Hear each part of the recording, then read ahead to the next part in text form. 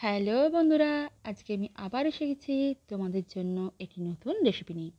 আর যারা আমার চ্যানেলটাকে সাবস্ক্রাইব করনি প্লিজ সাবস্ক্রাইব করে দাও প্রেস করে দাও বেল আইকনটাকে যাতে আমার আগামী ভিডিওগুলো তোমাদের কাছে আগে পৌঁছে যায়। আর বন্ধুরা, আমাকে লাইক দিয়ে যাও একটা। আর এই চ্যানেলটাকে তোমরা তোমাদের প্রত্যেকে ফেসবুক টুইটার ইনস্টাগ্রাম আর হোয়াটসঅ্যাপের বন্ধুদের পরিবারের সাথে শেয়ার করো। চলো, এবার যাওয়া যাক। আমি এখানে পেঁয়াজ কুচো করে নিয়েছি। সেটা আমি ভেজিটেবল চপারে দিয়ে দিচ্ছি। এখানে পেঁয়াজ, আদা, রসুন, কাঁচা লঙ্কা এবং ধনে পাতা আমি ব্যবহার করেছি। এগুলো আমি ছুরির সাহায্যে চপ করিনি, আমি এটা চপারের সাহায্যে করেছি। তোমরা চাইলে এটা অবশ্যই ছুরিতে করতে পারো। তো চপারে করলে একটু সুবিধে হয়, তাই আমি ঝটপট চপারে এটা চপ করে নিয়েছি। দেখো, সমস্তগুলো আমার ভালোভাবে চপার হয়ে গেছে। এবার আমি এদিকে একটা মিক্সিং বোল নেব।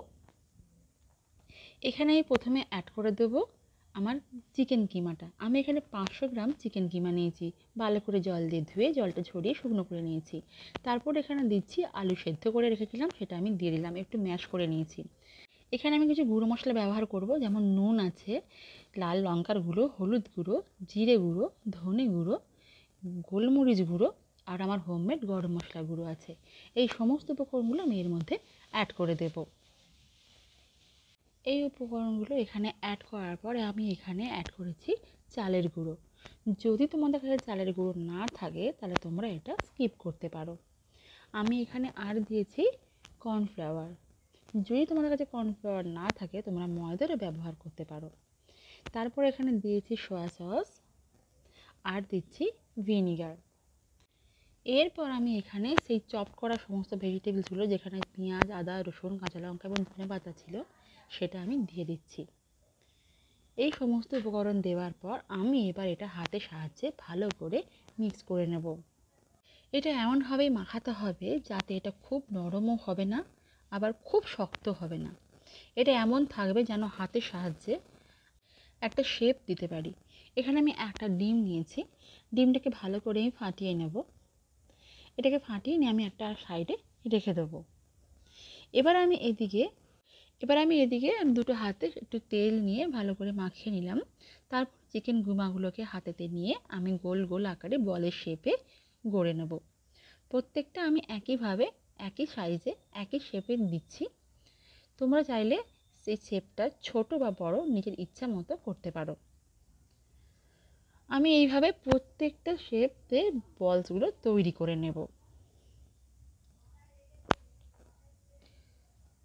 এটা কিন্তু একটু সাবধানে আলতো হাতে করতে হবে, যাতে বলসগুলো কোনোভাবে খুলে না যায়। আমার সমস্ত চিকেন কিমার বলসগুলো অলরেডি রেডি হয়ে গেছে। এবার আমি এখানে নিয়েছি ফাটানো ডিম ব্রেড ক্রামস আর চিকেনের বলসগুলো। ডিমের মধ্যে ভালো করে ডিপ করে নিয়ে আমি এবার এটা ব্রেড ক্রাম্পের সাথে ভালো করে উপর থেকে কোট করে দিচ্ছি। আমি এটা ভালো করে কোট করে নিচ্ছি, তোমরা দেখো। আমার কোট করা প্রায় কমপ্লিট আমি এটা একবার করেই কোট করেছি। তোমরা চাইলে এটা দুবার করে ডাবল কোটও করতে পারো।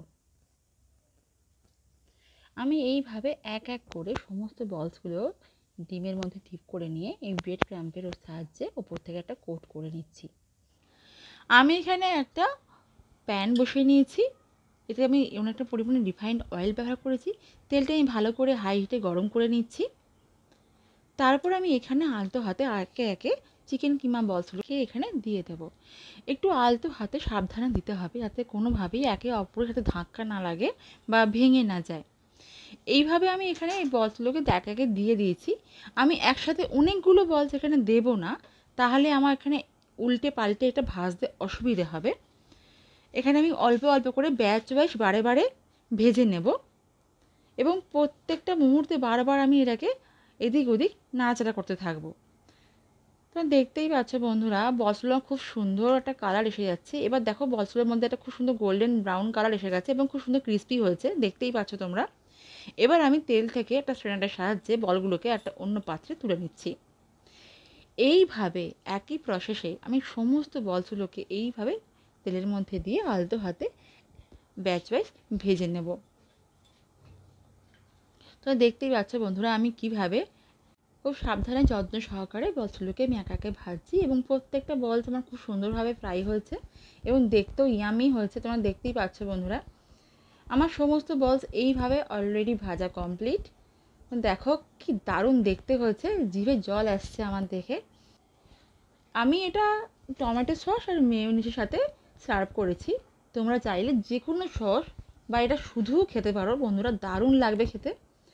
তো আশা করি তোমাদের প্রত্যেকের ভালো লেগেছে। আর তোমরা দেখতেই পেলে আমি রেসিপিটা কীভাবে বানিয়েছি। তো বন্ধুরা, তোমরা বাড়িতে প্রত্যেকে বানিয়ে ফেলো চটপট করে আর আমাকে জানিয়ে দাও তোমাদের কেমন লেগেছে।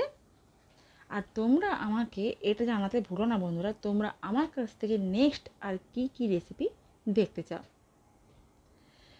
তো বন্ধুরা, আমার এই রেসিপিটা আজকে দেখার জন্য অসংখ্য ধন্যবাদ। আমি আবার ফিরছি তোমাদের জন্য অন্য কোনো একটা রেসিপি নিয়ে। আজকের মতো, টাটা।